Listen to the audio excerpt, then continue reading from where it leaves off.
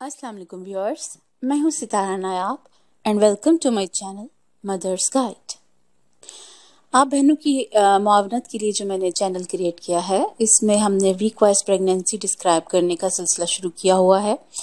अगर आपको इस आ, मेरी वीडियो से कोई फ़ायदा हो रहा हो तो आप मुझे दुआओं में ज़रूर याद रखिए क्योंकि ये काम फ़ी सबील्ला है और इस नॉलेज को आप आगे भी पहुँचाया कीजिए ताकि सबका भला हो सके।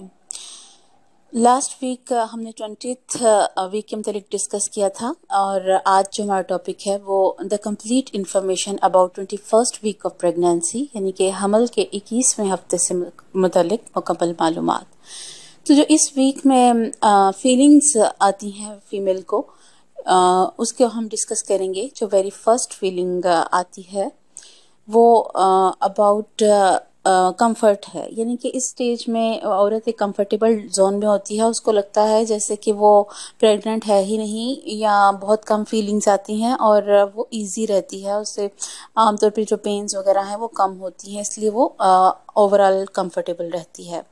नेक्स्ट है ब्लीडिंग्स गाम ब्लीडिंग गाम्स यानी कि मसूड़ों से खून आना तो ब्लड का फ्लो ज़्यादा होने से कुछ पेसल्स रप्चर हो जाती हैं, जिसकी वजह से ये ब्लीडिंग होती है। बैक एक यानी कि कमर दर्द इसकी रीज़न मैं आपको बार बार बता चुकी हूँ और इसके लिए आपको कुछ स्टेजेस भी बता चुकी हूँ। तो आप मेरी पिछली वीडियोस देख सकते हैं और उधर से उसको फॉलो कर सकते हैं।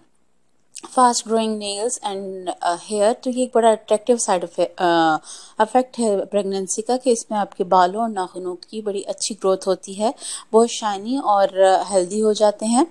इंक्रीज एपिटाइट यानी भूख का बढ़ना तो इस स्टेज में आपकी भूख बढ़ जाएगी और आपकी भूख का बढ़ना बहुत अच्छा है ताकि आपकी बेबी की ग्रोथ अच्छी हो। तो आप बिल्कुल भी अपने पेट को खाली मत रहने दें और कुछ खाते पीते रहें। ब्लॉटिंग एंड गैस यानी कि पेट में तनाव और गैस की शिकायत। तो अगर आपको अपना पेट तना हुआ महसूस हो या आपको लगे कि पेट में बहुत ज़्यादा गैस है तो ये एक प्रेगनेंसी साइड इफ़ेक्ट है। एडिमा यानी कि सूजन होना ब्लड लेवल डबल होने की वजह से आपके हाथ और पाँव स्वेल हो सकते हैं। तो इसके लिए आपको बार बार वॉशरूम जाना चाहिए ताकि फालतू पानी डिस्चार्ज हो जाए। फेटल मूवमेंट यानी कि बच्चे की हरकत तो ऑब्वियसली अब आप नाइन्थ मंथ तक फील करेंगी और ये एक कांस्टेंट फैक्टर होगा।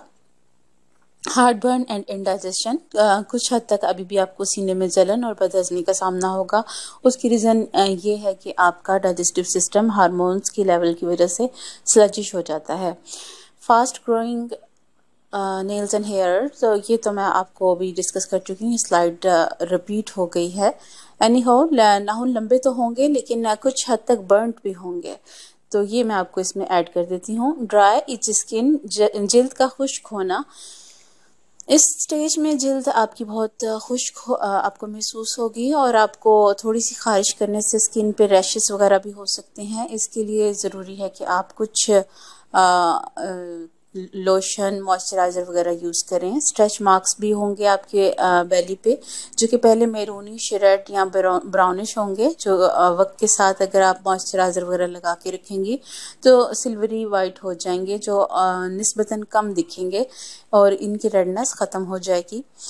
इसके लिए आप जो मर्ज़ी कर लें, ये आपको होने ही होने हैं। ये हिप्स पे भी हो सकते हैं और ब्रेस्ट पे भी हो सकते हैं। इसके अलावा वेरिकोस वेंस जो है, वो बहुत ज़्यादा प्रोमिनेंट हो जाएँगी। उसका रीज़न भी मैं आपको पिछली वीडियोस में बता चुकी हूँ कि ब्लड का ज़्यादा फ्लो होना इसका रीज़न है, जिसकी वजह से कुछ वेसल्स स्वेल हो जाती हैं, जिससे इस तरह की स्वेल फॉर्म आपको दिखती है। लेकिन ये प्रेगनेंसी ख़त्म होते ही ये मसला ख़त्म हो जाएगा।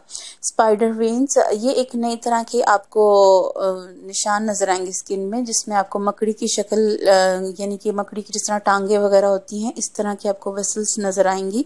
तो इनको ये इनको तकरीबन सभी मकड़ी की शक्ल के ही कहते हैं स्पाइडर वेन्स कहते हैं इनको।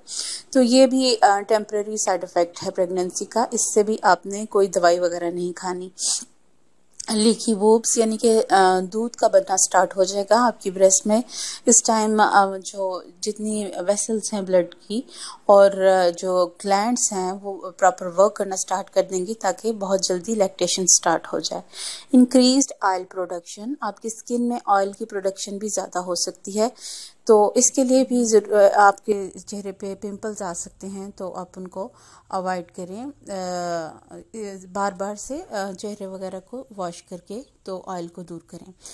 साइज़ ऑफ़ बैली यानी कि इस वीक में जो पेट होगा प्रेग्नेंट औरत का, वो कितना होगा? तो इस तस्वीर से आप लोग अंदाज़ा लगा सकते हैं कि अब तो बम्प बाहर की तरफ़ निकल रही है और अब ये प्रोमिनेंट हो रही है। साइज़ ऑफ़ बेबी यानी कि बच्चे का हजम, इस स्टेज में बच्चे का जो हजम है, वो आपको डिफरेंट चीज़ों से हम कंपेयर करके बताते हैं। तो इस वीक में जो हमारा कंपैरिजन है, वो सिंपल एक कैरेट के साथ है, जो एक आम मीडियम साइज़ गाजर होती है। तो बेबी भी इस तरह ही है कि कम विथ होती है लेंथ ज़्यादा होती है और तकरीबन जितनी एक गाजर की लेंथ होती है, उतना होगा। और अगर आपको गाजर से अंदाज़ा ना हो रहा हो तो आप एक पॉम ग्रेनेट यानी कि अनार के साथ भी इसका कंपैरिजन कर सकते हैं। तो अब माशाल्लाह बेबी ग्रोइंग स्टेजेस में है और अनकरीब बहुत ज़्यादा वेट गेन करेगा। लेंथ अगर हम उसकी एग्जैक्ट मेजरमेंट्स लें तो लंबाई तकरीबन टेन पॉइंट फाइव इंच होगी, यानी कि दस अशारिया पाँच इंच तक फ्रॉम हेड टू फुट इसकी लेंथ आपको मैं बता रही हूँ। इसके अलावा जो इसका वेट है वो तकरीबन ग्राम्स में 360 ग्राम्स होगा और अगर आउंसेस में देखें तो ये तकरीबन 11 से 12 आउंसेस तक इसका वज़न होगा। तो इससे आप अंदाज़ा लगा सकते हैं कि आपका बेबी कितना बड़ा है। चेंजेस इन बेबी यानी कि इस स्टेज में बच्चे में क्या क्या तब्दीलियाँ रोनमा होती हैं। तो हम डिफरेंट फीचर्स अब तक डिस्कस कर चुके हैं कि क्या क्या तब्दीलियाँ बच्चे में आती हैं। जैसे कि आपको बता चुकी हूँ कि बाहर एक मायोनीस की तरह की शीत बन जाती है, जिससे बच्चे की स्किन प्रॉपर कवर रहती है और वो एक चिकनी झिल्ली की तरह होती है।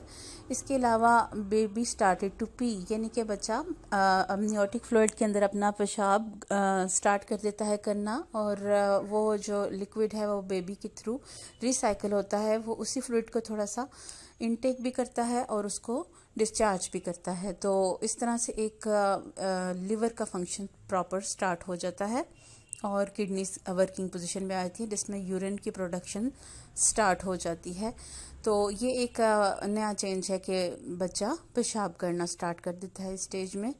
इसके अलावा जो चेंज है, वो है कि बेबी स्टार्टेड टू ड्रिंक यानी कि जैसे पहले आपको बताया है कि बच्चा सकिंग करना स्टार्ट करता है, अब उसके साथ साथ वो थोड़ा सा लिक्विड पीना भी स्टार्ट कर देगा। जो एमनियोटिक फ्लूड होता है, वो उसको थोड़ा बहुत पिएगा। हालाँकि बेसिक जो उसकी न्यूट्रिएंट्स हैं, वो उसको प्लेसेंटा से ही मिलते हैं।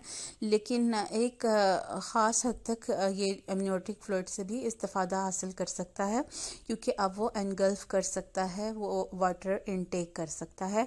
और उसमें जो न्यूट्रिएंट्स हैं, वो उसकी बॉडी में उसकी ग्रोथ में हेल्पफुल भी साबित हो सकते हैं। तो जो नेक्स्ट जो बच्चे में तब्दीली आती है, वो है प्रोडक्शन ऑफ़ ब्लड सेल्स यानी कि खून के खुलियों का बनना। तो उस बेबी का लिवर एक प्रॉपर वर्क करना स्टार्ट कर चुका है। वो नए खुलिए बनाना शुरू कर चुका है, जिससे बेबी का जो ब्लड ट्रांसपोर्ट सिस्टम है, वो एक प्रॉपर विगर लेगा, एक प्रॉपर शक्ल ले लेगा। और कल को बेबी की जो पूरे जिसम में ब्लड की सप्लाई है, उसके लिए वो ब्लड सेल्स काफ़ी होंगे। और उसको कोई एक्सटर्नल ब्लड की ज़रूरत नहीं पड़ेगी। तो इस स्टेज में आप देख सकते हैं कि तीन मेन काम स्टार्ट हो चुकी हैं ड्रिंकिंग पी और ब्लड सेल्स का बनना। इसके अलावा जो दिमाग है बेबी का, उसके जो प्रॉपर पार्ट्स होते हैं, जिसमें हेमिसफेयर शामिल हैं वो बनना शुरू हो जाएँगे। और ये इस चीज़ का निशानी है कि वो उसका दिमाग अगली कुछ अरसे में प्रॉपर वर्क करना स्टार्ट कर देगा। और जो रिस्पॉन्सेज हेमिसफेयर से अटैच्ड हैं, वो उन सबको करेगा। और बॉडी के जो मूवमेंट और सिस्टम है, उसको भी कंट्रोल करेगा। तो आप देख सकते हैं कि हर चीज़ अब पहले से ज़्यादा डिफ़ाइन होना शुरू हो गई है कि पहले दिमाग का बनना था, अब उसके पार्ट्स बनना स्टार्ट हो चुके हैं। तो इसी तरह जहाँ दिमाग के पार्ट्स बन रहे हैं तो इसी तरह दिल के भी खाने बनना स्टार्ट हो जाएँगे, जिन्हें हार्ट चैम्बर्स कहते हैं, एट्रियम और वेंट्रिकल्स। तो इस स्टेज में बेबी का जो हार्ट है वो खानों में बटना शुरू हो जाएगा चैम्बर्स में बटना शुरू हो जाएगा, जिसके बीच में आने वाली स्टेजेस में वॉल्स भी अपेयर हो जाएँगे, जो कि साफ़ पानी को साफ़ खून को और गंदे खून को अलग अलग करेंगे और एक प्रॉपर ट्रांसपोर्ट सिस्टम बॉडी का बना देंगे। तो ये एक अच्छा चेंज है, जिसमें आप देख सकते हैं कि ये सारे चेंजेस बेबी की अगली ग्रोथ के लिए। संगे मील का बुनियाद रखेंगे, ठीक है? इसके अलावा है वेजाइना फॉर्मेशन अगर आपकी वॉम में जो बेबी है, वो फीमेल है तो इस स्टेज में उसकी वेजाइना भी बनना शुरू हो जाएगी। यानी कि उसकी जो मादा पार्ट हैं, वो बनना शुरू हो जाएँगे। अल्ट्रासाउंड हमारी एक मेन हेडिंग होती है, जिसमें हम आपको जो वीक होता है, उस, उससे मुतलिक बेबी की ग्रोथ वगैरह अल्ट्रासाउंड की पिक्चर से दिखाते हैं। आप इक्कीसवें हफ़्ते की जो अल्ट्रासाउंड की तस्वीर है, वो देख सकते हैं। इसमें आप देख सकते हैं कि जो उसके नक्श वगैरह हैं बहुत प्रोमिनेंट आपको नज़र आ रहे हैं। इसके अलावा बहुत सी चीज़ें जो आप उसको मॉनिटर करना चाहें, आप आसानी मॉनिटर कर सकते हैं। वट शुड डू यानी कि इस स्टेज में जो फीमेल है, उसको करना क्या क्या चाहिए? तो सबसे ज़्यादा ज़रूरी जो है, वो है ग्लूकोज चैलेंज टेस्ट यानी कि अगर आपको गस्टेशन शुगर का मसला है, या आपको डाउट है, या आपकी फैमिली हिस्ट्री में है तो आप ये वाला ज़रूर टेस्ट करवाएँ। टॉक टू योर बेबी आप चूँकि आपका बेबी आपकी बातें सुन सकता है तो कोशिश कीजिए कि अपने बच्चे के साथ बातें करें। उसको अगर आपने नाम चूज़ कर लिया तो उस नाम से बुलाएँ, ताकि वो बाहर जब आए दुनिया में तो वो आपकी आवाज़ से मानूस हो चुका हो और अपने नाम से भी मानूस हो चुका हो। तो ये एक अच्छा साइंटिफिक अफेक्ट है जो बेबी को दिया जा सकता है एक माँ की तरफ़ से। कई फीमेल्स कुरान की तलावत करती हैं ताकि बेबी ये अच्छी आवाज़ें सुन सके और उसके दिमाग पे एक पॉजिटिव असर हो सके। तो ये आपके अपने ऊपर है कि आप अपने बेबी को क्या सुनवाना चाहती हैं। डू एक्सरसाइज यानी कि थोड़ी बहुत अब आपको एक्सरसाइज करनी है, क्योंकि अब आप वॉमिटिंग स्टेज से बाहर निकल चुकी हैं ओवरऑल ख़तरे के जोन से भी बाहर निकल चुकी हैं। तो अब आपको बैठे नहीं रहना, अपने या तो घर के काम काज कीजिए, या अगर आपके पास मेड वगैरह अवेलेबल है तो आप फिर हल्के फुल्के स्ट्रेचेस लें, वो भी आप अपनी डॉक्टर से पहले गाइडेंस लें, और सिर्फ़ उतना ही अपनी बॉडी को स्ट्रेच करें, जितना आपको अलाउ करें। इसके अलावा वियर मेटर्निटी स्पोर्ट होस यानी कि हमल में इस्तेमाल होने वाली जराबें। अब ये वो जराबें, आम वाली जराबें नहीं हैं। ये जब आपको वेरिकोस वेंस आपकी जब ज़्यादा फूल जाती हैं तो ये उसकी स्पोर्ट उसको सपोर्ट देने के लिए होती हैं। तो आप अपनी लेग्स पे अगर इस तरह की सॉक्स पहन लेंगी, जो कि मेटर्निटी से रिलेटेड होती हैं तो नस्बता आपकी वो वेंस सुप्रेस हो जाएँगी। अब एक बहुत ज़रूरी टॉपिक है जो डिस्कस करना है कि stop sex if you see any of the symptoms यानी कि मुबाशरत छोड़ दें अगर इनमें से कोई एक अलामत भी आप देखें। पहली तो ये कि अगर आपके अल्ट्रासाउंड में प्लेसेंटा प्रेविया की प्रॉब्लम आ रही है यानी कि प्लेसेंटा का निचली तरफ़ होना वेजाइना की तरफ़ होना जिससे कल को कॉम्प्लिकेशंस हो सकती हैं तो ये स्टेज आपके लिए बहुत ज़रूरी है कि इसमें आप रेस्ट करें और आ, सेक्स को बिल्कुल अवॉइड करें अदरवाइज़ आपको ब्लीडिंग हो सकती है और आपको कॉम्प्लिकेशंस पैदा हो सकती हैं।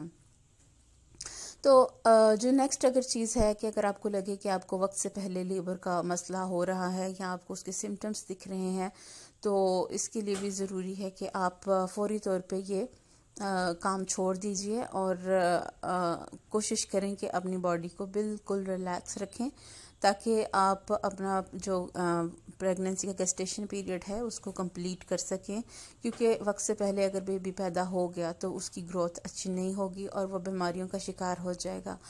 वजानल ब्लीडिंग अगर आपके वजाना से खून बहना शुरू हो जाए, अगर वो थोड़ी मकदार में भी हो स्पॉटिंग की शक्ल में भी हो तो भी आपने इस काम से अवॉइड करना है, जो कि मैं आपको बता चुकी हूँ।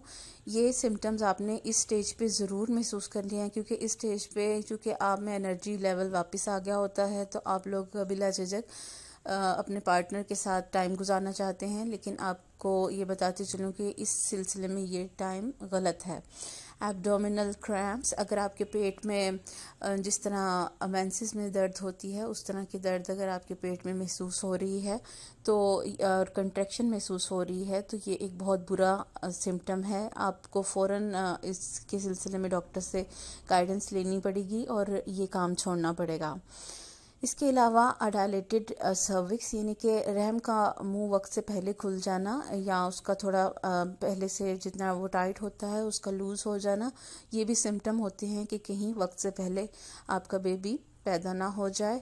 तो अगर आपको इस तरह की फीलिंग्स आए डॉक्टर्स को चेक करें तो आपने अवॉइड करना है फिर। आपने ये मैंने पाँच छः पॉइंट्स बताए हैं, इन सबको नोटिस में रखना है इन वीक्स में।